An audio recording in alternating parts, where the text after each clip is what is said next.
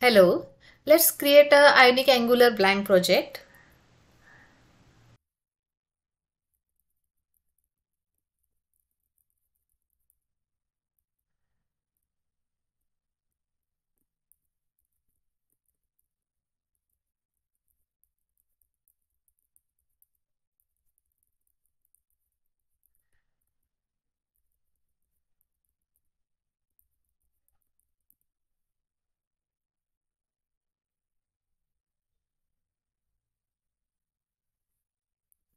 Install the required packages.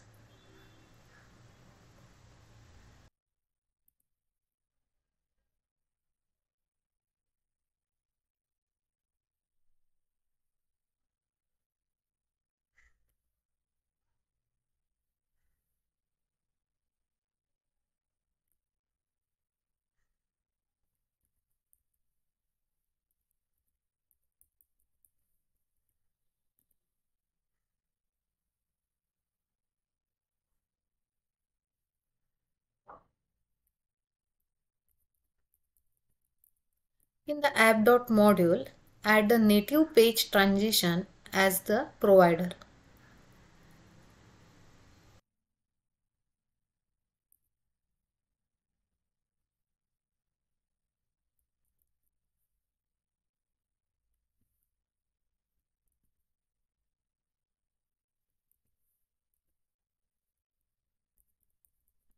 Add one more page to the project.